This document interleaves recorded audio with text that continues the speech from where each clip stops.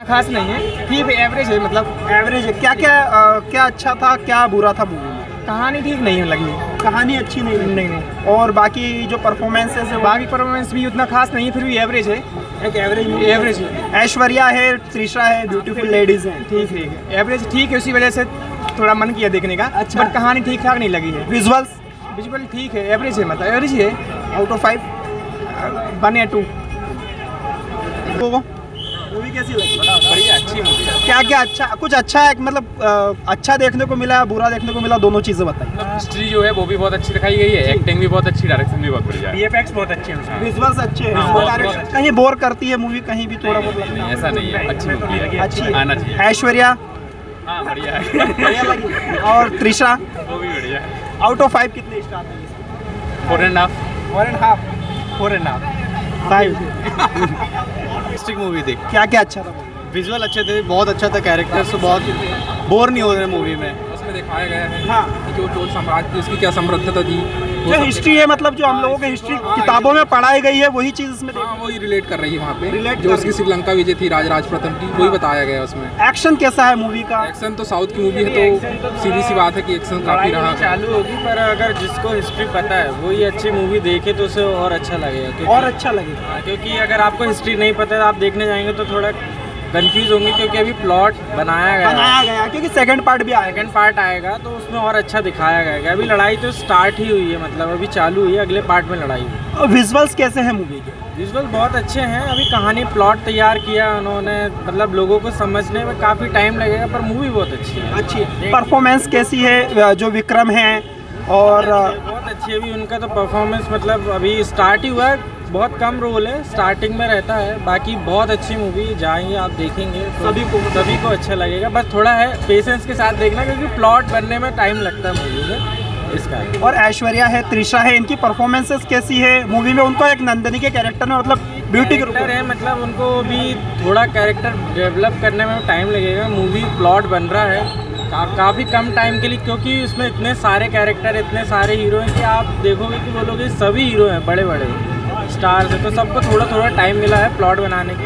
Out of five कितने? Star कैसी लगी मूवी कैसी लगी ब्रदर कैसी लगी? क्या अच्छा लगा मूवी में आपको? ब्रदर कैसी लगी? कैसी लगी भाई? क्या क्या अच्छा है मूवी में? इसमें जो चोल साम्राज्य का जो अपने हिस्ट्री से जुड़े हुए हैं उसके बारे में काफ़ी अच्छे से बताया वो अच्छा लगा। मूवी में विक्रम है करती है जयराम है उनकी परफॉर्मेंस कैसी लगी? परफॉर्मेंस विक्रम सर की काफ़ी बढ़िया थी ऐश्वर्या राय बच्चन की भी काफ़ी एकदम मस्त थी। देखा जाए तो बढ़िया मूवी लगी। एक नंबर शानदार। कैसी लगी ब्रदर मूवी मूवी बहुत अच्छी थी। क्या क्या अच्छा लगा ग्राफिक्स अच्छे थे उसके। हाँ? ग्राफिक अच्छी थे। विजुअल्स अच्छे थे। अच्छा परफॉर्मेंस कैसी है मूवी में? जैसे करती है विक्रम है। हाँ विक्रम तो मूवी नहीं देखी है मैंने।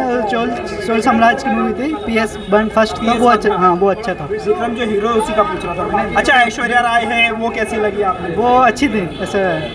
ब्रदर कैसी लगी आपको मूवी मूवी कैसी लगी? कैसी लगी? मूवी कैसी लगी? शानदार क्या क्या अच्छा लगा मूवी मूवी में जो ग्राफिक्स वी एफ़ एक्स वगैरह थे बहुत विजुअल्स अच्छे थे।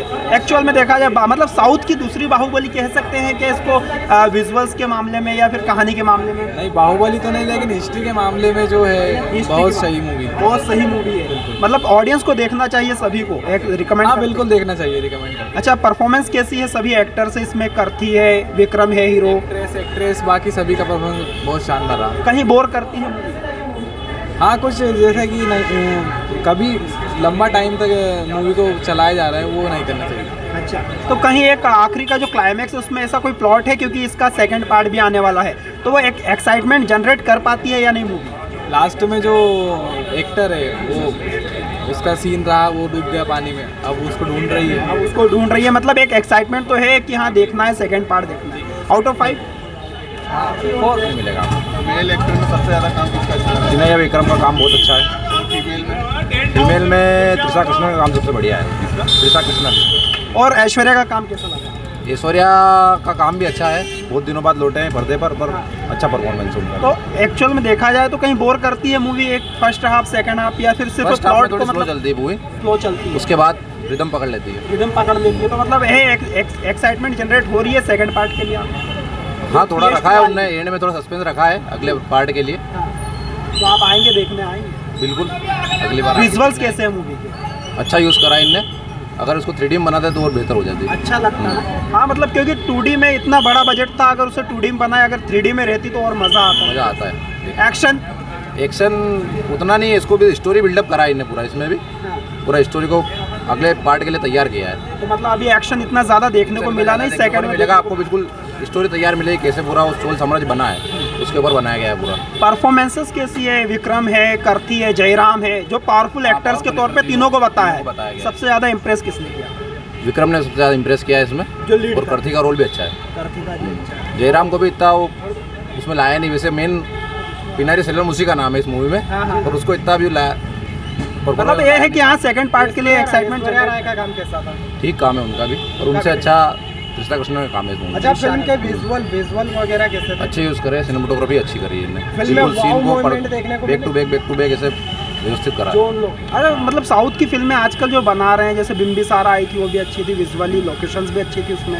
इस फ़िल्म में कैसे देखने को मिली? सिनेमाटोग्राफी है। वैसे मैंने वो बिम्बिसार नहीं देखी है तो मैं आपको ऐसा बता नहीं नहीं ये बताइए फ़िल्म में वाओ मोमेंट है या नहीं? जैसे ट्रिपल आर में। थे जैसे बीजीएम बाहुबली वगैरह में। म्यूज़िक आर रहमान का बहुत सुपर म्यूज़िक है। जी। बिल्कुल आपको निराश नहीं करेगा म्यूज़िक कहीं से नहीं मतलब कोई सिटी मार मोमेंट आते हैं जहाँ पर ताली बजाने का मन